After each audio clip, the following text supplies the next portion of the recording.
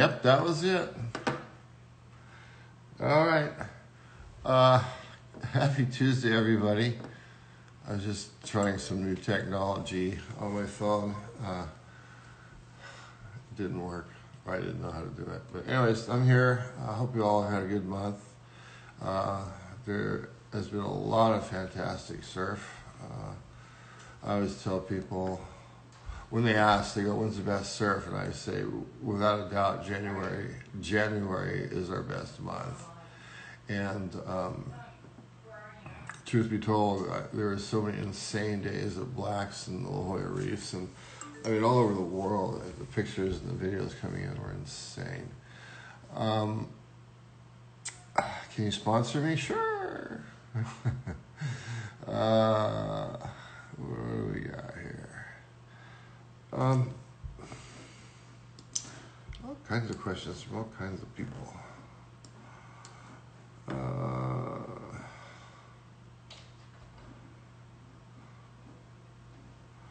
uh, this is a good one. What are your thoughts on people changing, altering your designs, for example, stock dims or X, and they change them and make you know make it less wide or thin or etc. Do you feel that's pretty much creating a new board, or do you think the original idea is still in there?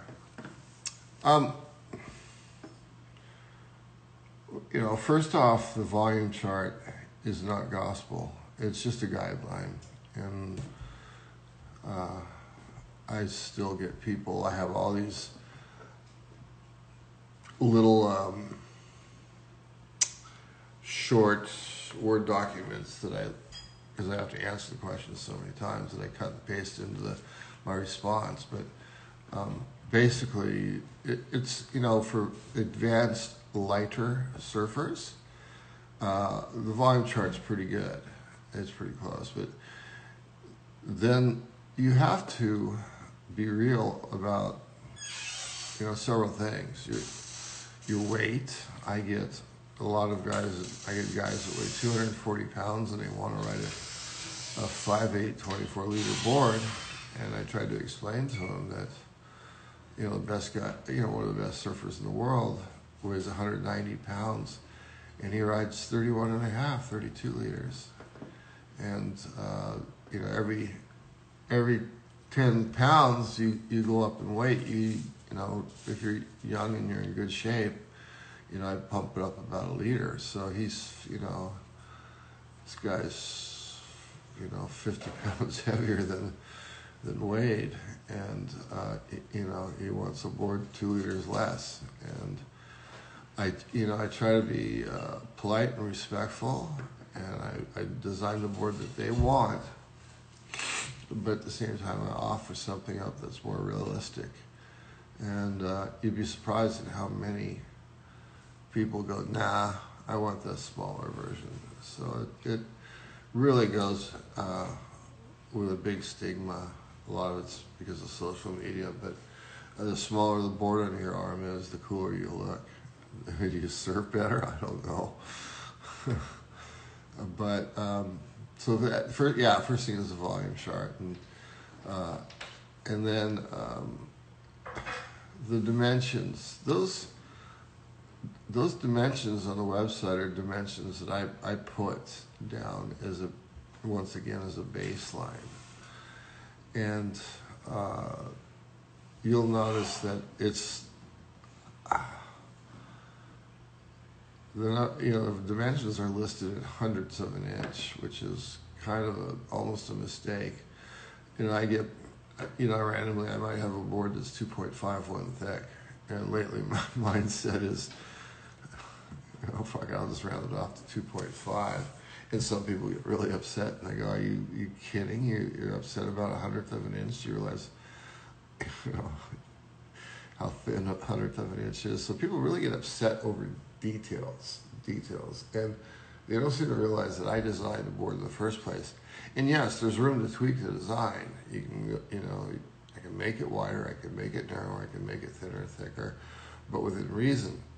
If you like, I get guys that want to ride really short boards that are kind of heavy, and they, you know, they make a five eight three and a quarter inches thick, and I'm going, I can do it, but it will distort the design so much to a point where it's really not gonna, it'll ride really shitty, but I can do it for, if you want. My suggestion is to, you know, maybe go up a couple of inches, go out a quarter of an inch, and, uh, you know, maybe not three and a quarter, you know, maybe two and seven eighths or something.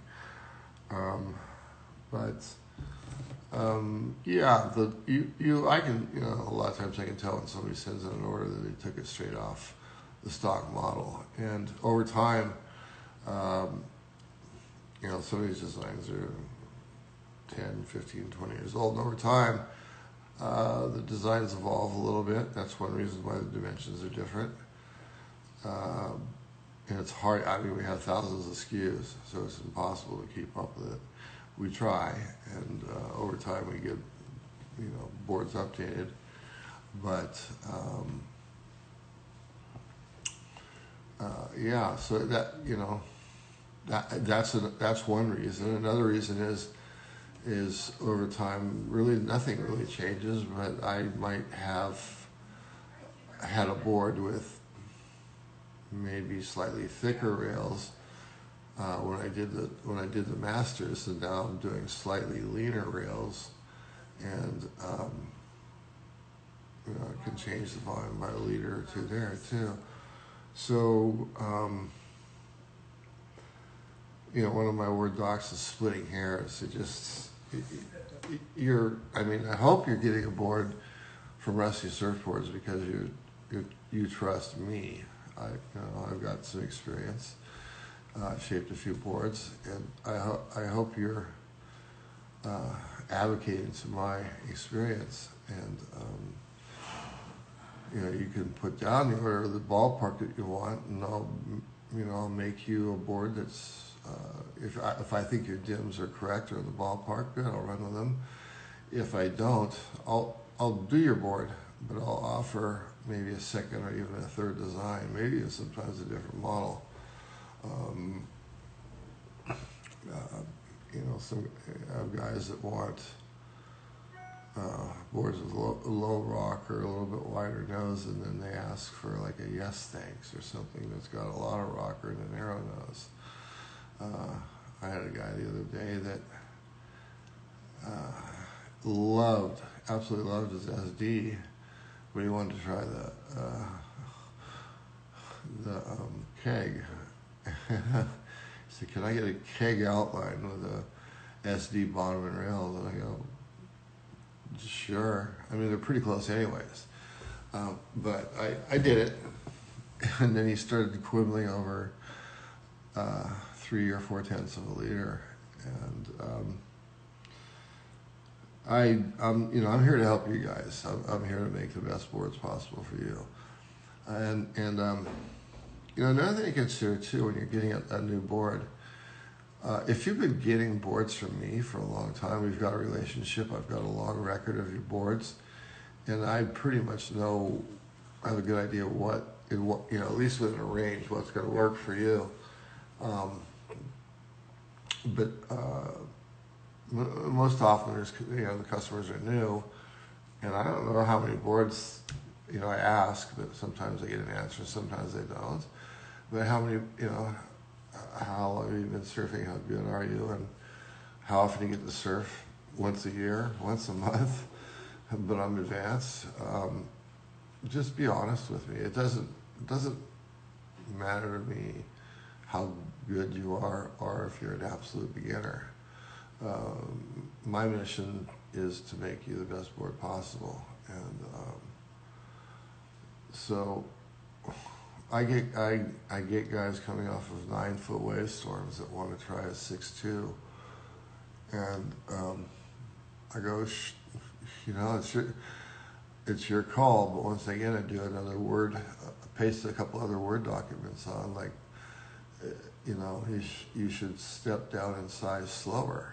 I my, you know, a foot works, but I think six inches is probably better uh, because there's certain things you'll learn just from riding a different board, just from coming off of a soft wave storm, or another shaper's board for that matter. If you've been riding somebody else's 9.0 and you want to try one of mine, and but you tell me the dimensions on this this other shapers, and I know and how the bottom is and what you want.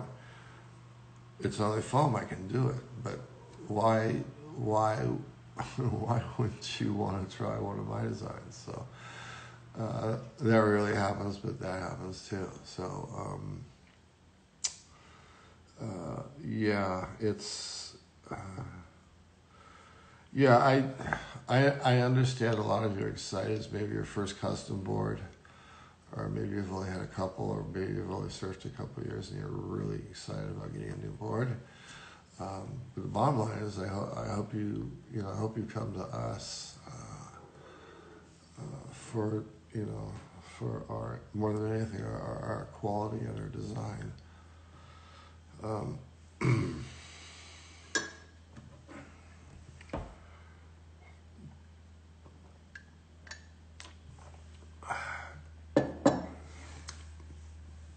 Is there a board that you don't like shaping anymore? Uh, that's a good question. I never really thought of that, but I guess there. I guess there is. Like, um, uh, you know, some of the older boards from from the '90s um, that had very narrow noses and tons of nose rocker and a fair bit of tail rocker. I I don't I don't like shaping them anymore. I will, but I, I don't like to because I believe we've improved the you know the certain designs. And um, you know people people love the traveler. And um, every now and then I still get a request for a traveler. That board's 20 years old at least. And uh, I said well how about the Blackbird? You know it's it's an update. It'll handle everything the traveler handles and then more and uh, so Yeah, I yeah, there's boards I don't like to shape anymore. uh, but for the most part, I, I uh, you know, unless the board's so archaic, like I even go through some of my older models and I update them because the thought was good, the design was good.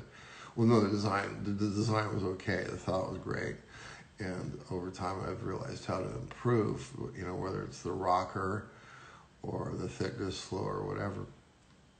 And so it's uh, uh, hopefully I'm weeding out all the parts I don't like the shape. but I'm updating them. You know, some of them just go away, but others, uh, others I, I usually I update. You know, fill out the nose just a little bit, relax the nose rocker a touch.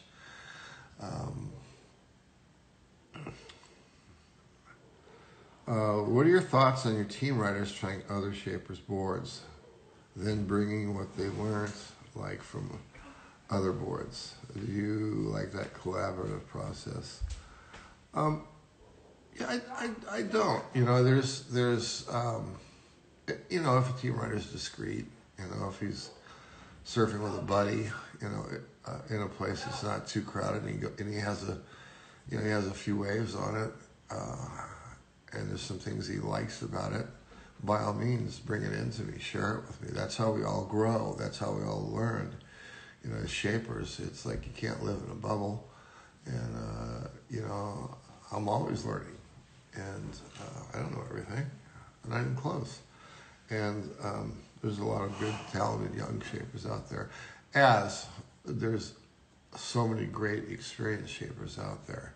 And now, um, especially with the computers, there's guys that are making pretty nice boards that are relatively new to the scene.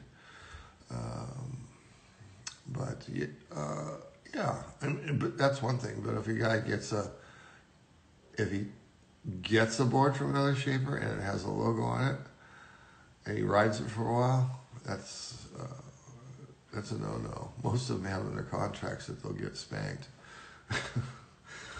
uh, uh, for new surfers, what do you recommend them most when deciding on a new board, length or thickness? Or is it a combination of both balanced with their skill level? Um,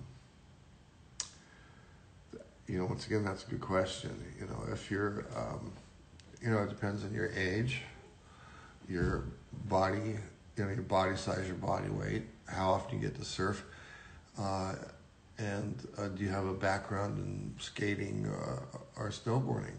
And um, you know, a young guy, hundred, you know, forty pounds, and he lives at the beach, and he's a good snowboarder, a good skater.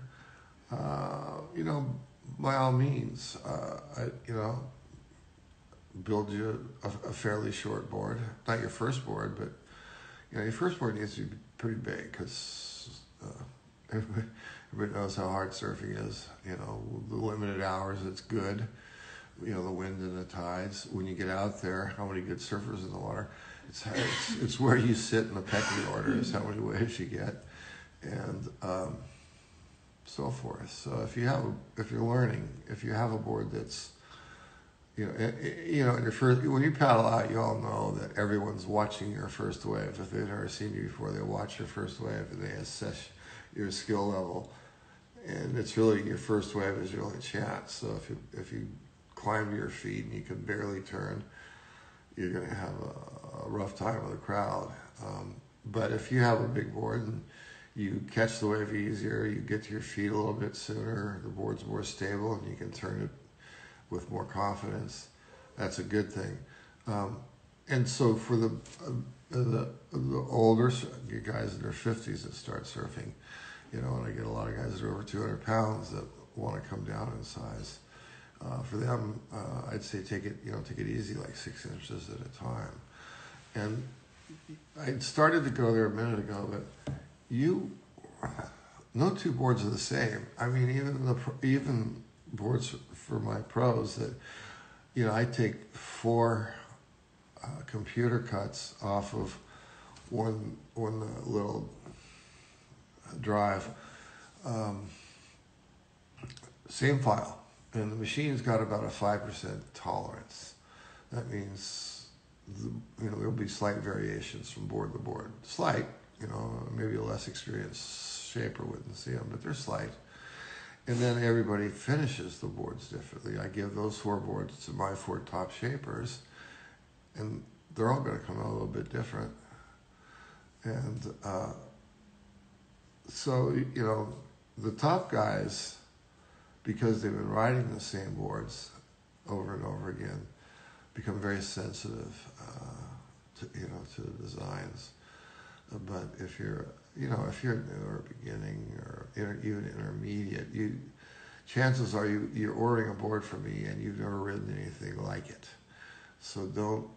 That, that's another reason to not quibble over details. Uh, um, so, um, yeah, the guy ordered a six ten utility longboard the other day, and uh, it was six ten, but he ordered it twenty four inches wide.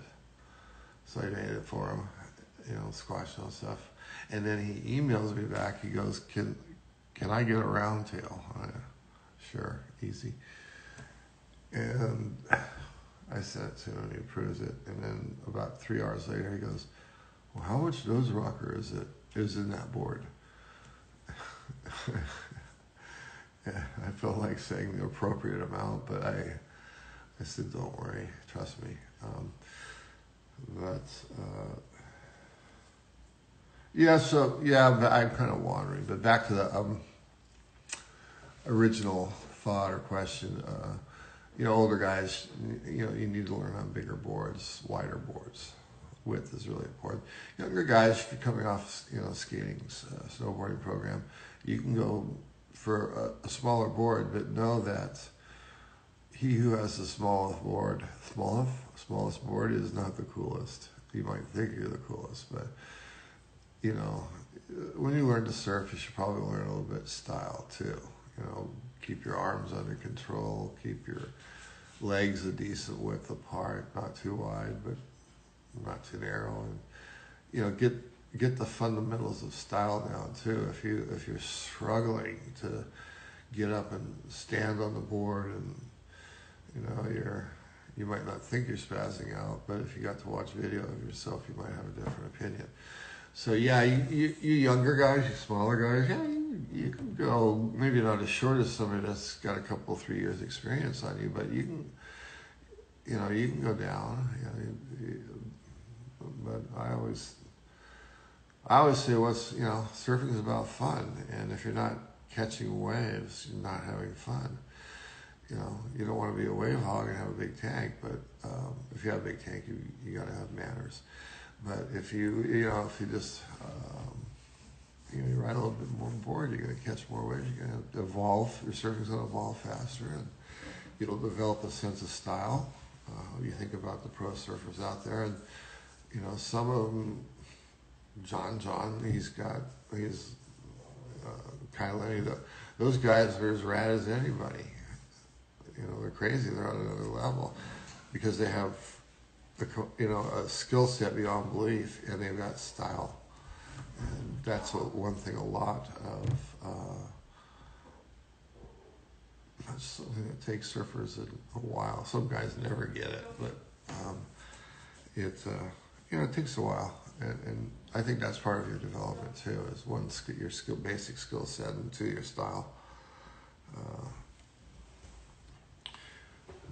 okay.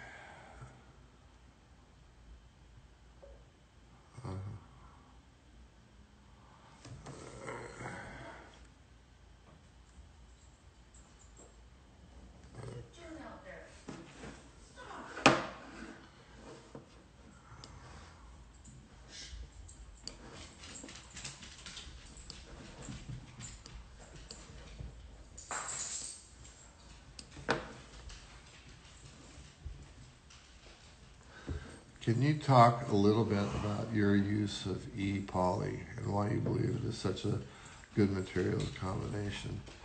Um,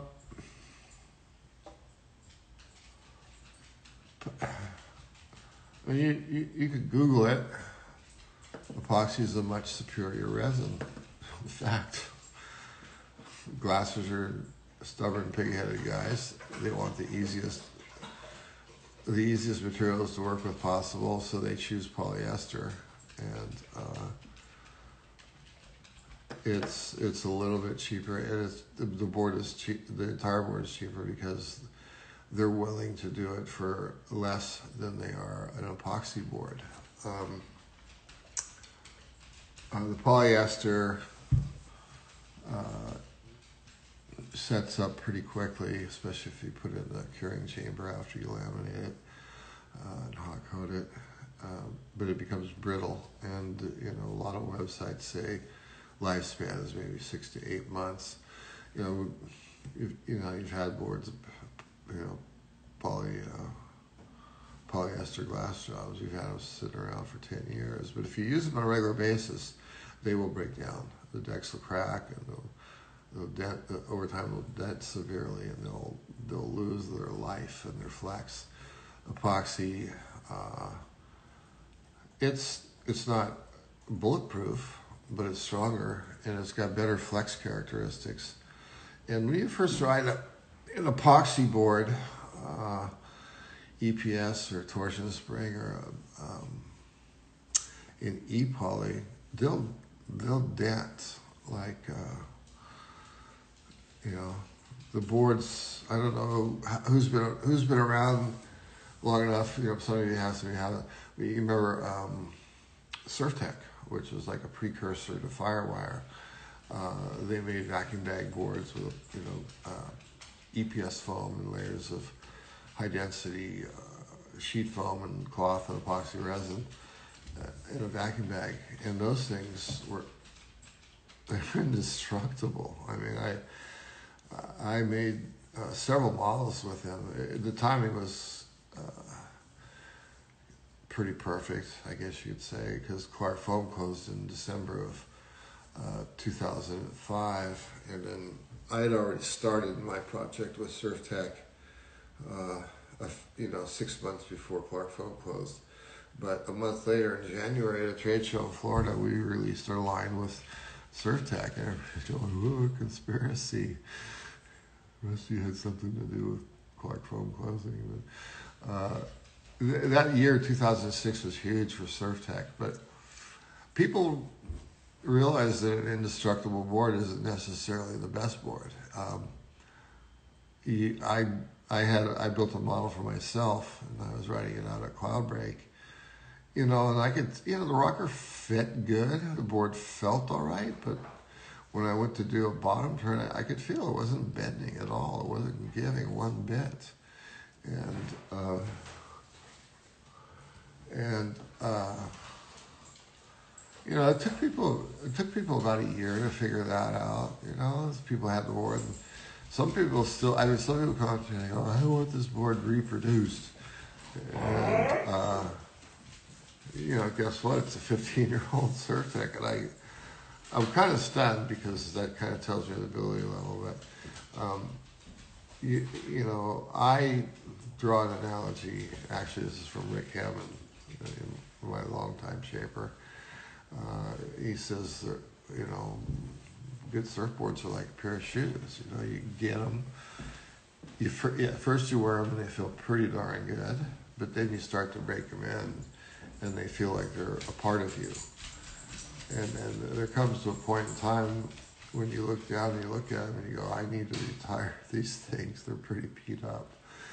And uh, the same thing is true of the surfboard. It it's you know it's got a dent a little bit.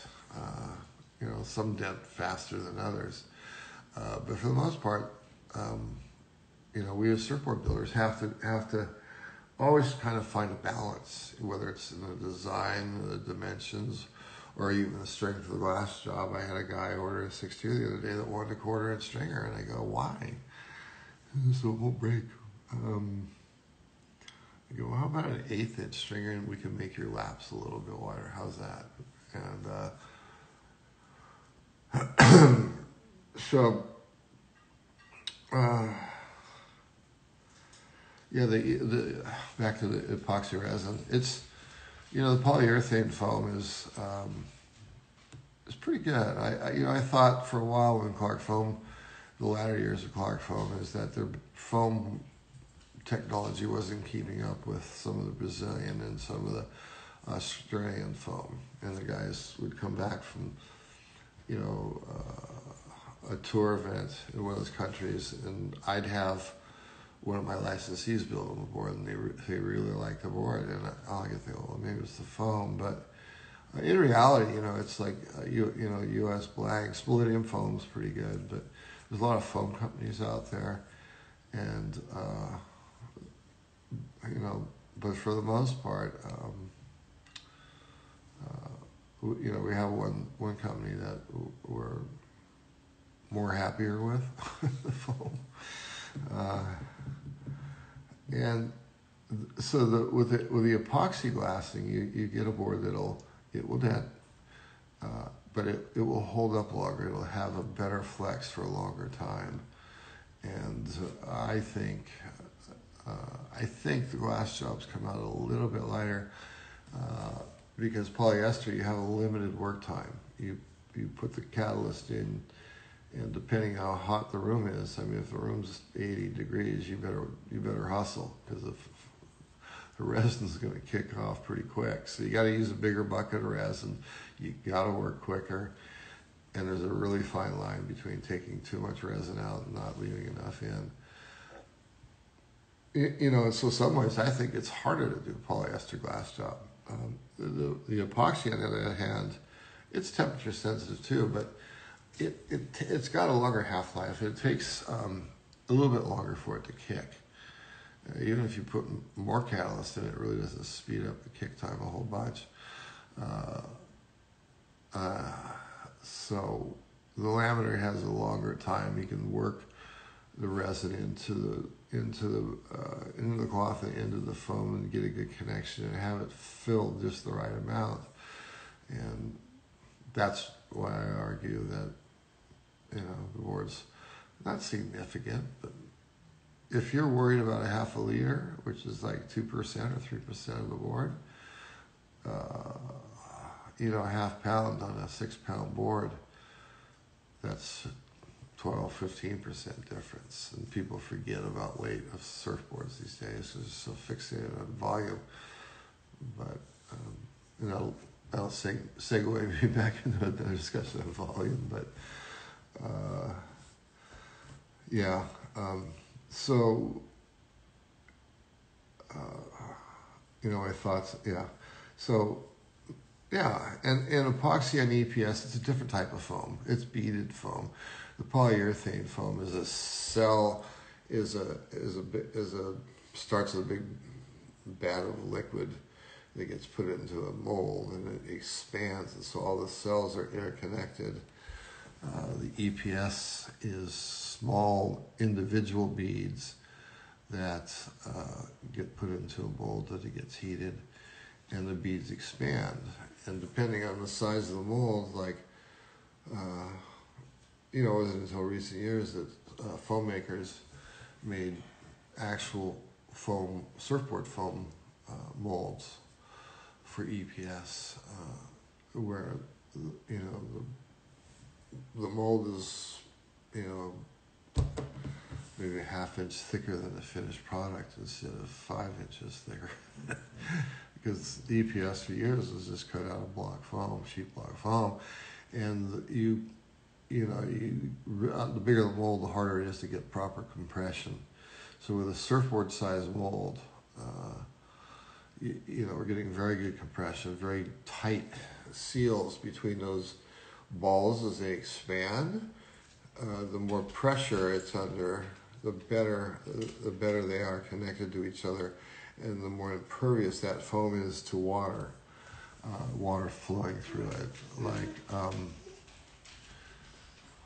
we uh, the early, early days of EPS, the you know you get a ding and I I see you got to get all the water right away because the board will fill up with water pretty quick. Uh, now it's a little bit better. Um, yeah, so in a nutshell, I think epo- you just look it up, just Google it. Epoxy is a far superior resin, and it really doesn't cost that much more. The material doesn't, but the uh, the craftsmen charge a bit more. To it takes a lot, bit longer, and and I believe the you know if I had two guys that I was going to teach them how to glass polyester, as a teacher how to glass epoxy, I think uh, you know from a, from a scratch standpoint, the guy would probably pick up the epoxy glassing quicker. Um,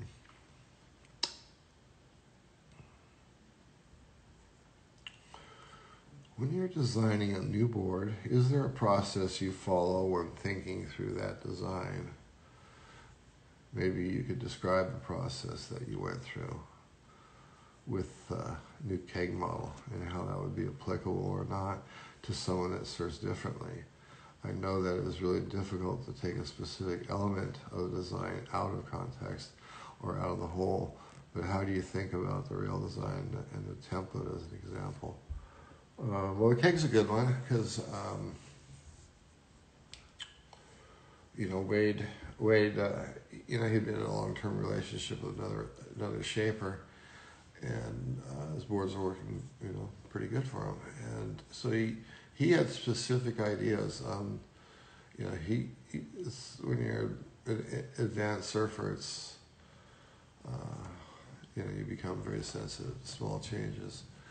Um, so we had to we had to um, kind of work work with uh, his previous shapers designs and we'd build him some test boards we give him for him to try and he'd go oh they work good but it's the butt board again but uh, and it took a few rounds but uh, and there was three of us working on it. There's myself, uh, Ado, our Australian shaper, and Pedro, my the guy in charge here in the U.S. Uh, Pedro, guy here charge for U.S. He's actually uh, he's been with me for 35 years and great, uh, great shaper, uh, great surfer. And, he he's originally running a Brazil business, but he's he's been here for about 15 years But anyways, the three of us, you know, combined efforts on the board, and um, what we came up with was uh, a board of five eleven with incredible amount of rocker. I mean, more than I'd seen since the early '90s. uh, especially in the nose, like uh, five and three eighths, five, almost five and a half inches in the tip, uh, and then 2.4 in the tail, and pretty, pretty significant numbers a foot in. And uh, the other thing was is the depth of concave. He had a pretty deep single um, that started well ahead of center and fed into the center, and the deepest part was behind center, and it was uh, three eighths of an inch. I, you know, I go up to point one moderate, point one to point two. I mean, that's slight. Point one to point two is moderate, and point anything over point two is kind of uh, heavy or whatever. And anything over point three is deep. And he was at point, you know, three, three point three five at, at the deepest part. Uh, so that was another factor. Uh, the balance of the foil, I've really, over the years, I've just, um, you know, I, I, just, I just feel like a balanced foil is optimum on just about every design. But I look back, you know, you know, uh, 30 years ago, uh, and uh, you know, boards were definitely thicker in the tail. Um, but his board was very thick in the tail and very thin in the nose. Heavy rocker, heavy concave. And I remember the first board he described to me, he, he, um, he goes, oh yeah, the, and the rails are kind of boxy too. No wager, but what we ended up with is a pretty crown deck. And uh, it had a little bit of ball at the bottom of the rail, but uh, they weren't box, they weren't boxy or full by any stretch. And then the template, uh, you know, his, um, you know, the front two thirds of boards were, you know, pretty normal, uh, but the, you know, the back third, um, a little more parallel, a little bit, full, a, little, a fair bit fuller tail block, and um, so that board took I don't know three, four, five go arounds. We finally we finally got him, and he adjusted. He you know he, he came down a little bit in the nose rocker, not much in the tail rocker. He, the board's a little bit more balanced. It's not like 0.35 thicker in the tail. It's 0.1, maybe 1.5 thicker in the tail. And uh, you know, there's so much that goes into the design of the board that uh, Josh, what's? Uh, uh, that you know the boards might look the same when you go through our design, uh, our, uh, what we have to offer, but really, if you get down to details, they're they're all significantly different. And um, I think jo- you know Josh is a, I, I, Josh, sorry. Josh just hit me. Uh, uh, Wade's board, um, you know, it's you're gonna have to kind of write it in the back of the board, you know. Uh, and I get surfers, everybody's interested in the board, and they go, "Well, I'm a heavy front foot surfer. I was interested in the Wade ball."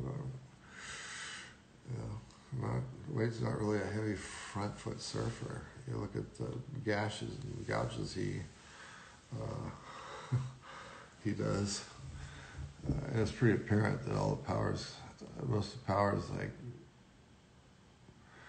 he, you know, he drives on his front foot, uh, bottom trim, with the power is his back foot. Um,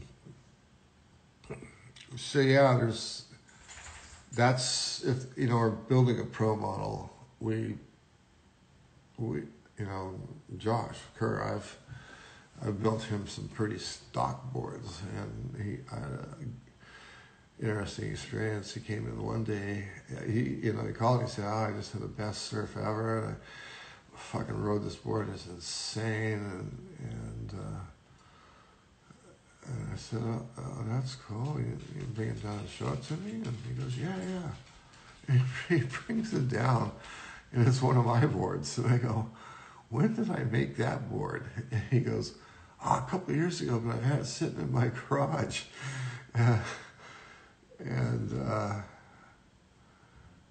so, while the pro surfers are pretty dialed in, they, I think, uh, they could probably open their minds a little bit too. I mean, I had a, a team rider in the early '80s, Mitch Thorson, uh, West Australia guy. Uh, he was a good uh, regular foot uh, power power surfer, and uh, he tried a couple boards and he liked them, and then we got into a relationship. And when he ordered his next board, he'd he'd have some changes, and I, I finally got so sick of. They're pretty small changes, but he always he always, he had the butt board, butt board uh, syndrome too. So, so what I started doing is I started shaving him the board that I thought he needed, but I'd put I'd write his dimensions on the on the foam and and the stringer. as soon as I started doing that, I, you know, in a sense, I stopped fighting because I put his dimensions down, but the board was actually my dimensions. We had a great relationship. So uh, it goes to show you that pros don't know it all. Uh, you know, most boards have some redeeming qualities. Some of them have a lot, uh, but uh, Frankie, Frankie's our epoxy. He was our epoxy laminator for what, 15 years.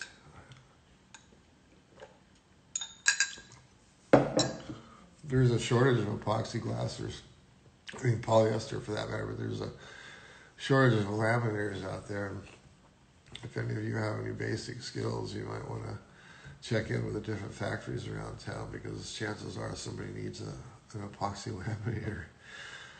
Uh, let me see.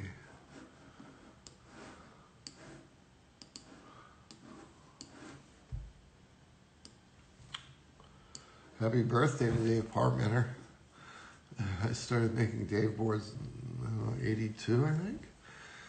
Uh, and he went on a tear where I think Hang Ten had a summer series on the West Coast, a six contest. I think he, he won all of them or most of them in '83 on, on this uh, 5, 5'10, 20 and a half in the middle uh, by a 50 and a half round tail with a wing. I think I had a wing. Uh, but that was his go-to board that, that summer, and, and uh, I, I, you know, I was always always very fond of Dave. He was very sharp and um, kind of like Clint Eastwood, I guess. I don't know, but uh, he um, uh, he wrote he wrote my boards for several years, and uh, a couple years, like '86 or '87, he came back from South Africa. Uh, with ideas of um, of a board with a little bit bigger back fin and smaller front fins, which had been worked on in Hawaii by Eric Arakawa and Pat Rawson and some of the other forward-thinking shapers. Um, but he, I can tell he was ready. To, he shaped a few boards by himself, but I think I, at 80, I don't know, 86, 87, he was ready. He was ready to, you know, duck out and he never really liked the uh, the media attention, blah blah blah, the whole scene. So he he moves uh, up to you know Cayucos, I guess, or San Luis, and started shaping. And he's developed he's he's developed into a world class shaper, and he does his own thing, and he doesn't he just word of mouth and uh, you know it's Groundhog Day. I don't need that to remember your birthday, Dave, but happy birthday.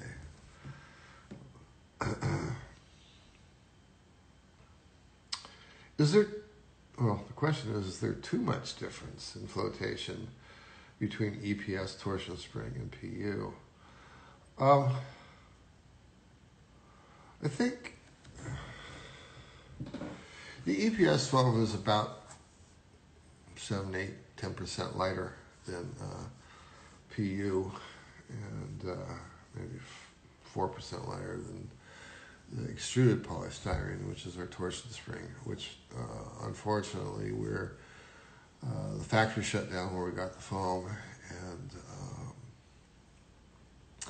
unless we want to do a half million dollar minimum order with Dow Chemicals, and they might dye the, they might not dye the foam blue. it looks like, at least temporarily, our torsion spring business will be uh, uh, uh, not over, but on temporary hold as we're running out of blanks. And I believe that construction is insane. It's different. It's epoxy. You have to glass that foam with epoxy. You've got to put little tiny, tiny pinholes in the deck so as the blank as the blank gets hotter and it's out in the sun, it expands, it gives off gas uh, more so than other foams. Um, but it's got great flex. It's very durable. It's waterproof. Um, the EPS uh, is very water absorbent. Water travels through it quite easily. Um, but as I mentioned earlier, with the molded high pressure uh, EPS foam, it's much better. It's much tighter. It's easier to shape because of you know instead of the beads falling off, the beads are now stuck together pretty good. You can sand them pretty good, and uh, it's more a little bit more waterproof. Um, but that's the lightest. In general, generally speaking, that's the lightest foam, and it's like I said, it's about eight to ten percent lighter than average PU, and um, so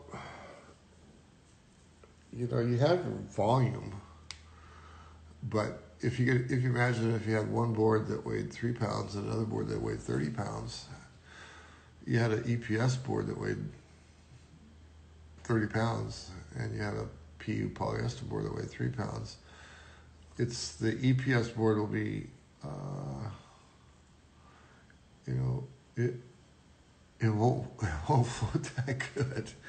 So it's it's um, you know the volume is one thing, but the weight is another too that people need to take into consideration. Uh, but yeah, we I generally make an EPS board. Um, seven, eight, ten percent less less volume than uh, you know, especially if somebody's a, re- a regular customer and they know what they want. Uh, yes, I build the EPS boards a little bit less volume. Uh, what's your favorite tail shape? Well, I man, there's all kinds of tails. There's uh, these days there's I mean, a lot of people think there's new ta- there's new tails, but I, I, you know, surfing is a thing where the knowledge, especially shaping, the knowledge kind of filters down out of the past, and some people forget that. Uh, yeah, there was a bat tail. You know, I, I had mine in the late '70s, but there was um, towards the end of the the longboard era, there was a bat tail I, I think it was based off the Batman TV series or movie, whatever. But um, and there was probably a bat tail in the early '60s. um, but you know, tails. We us shapers, we can explain the difference between the tails, and there's differences.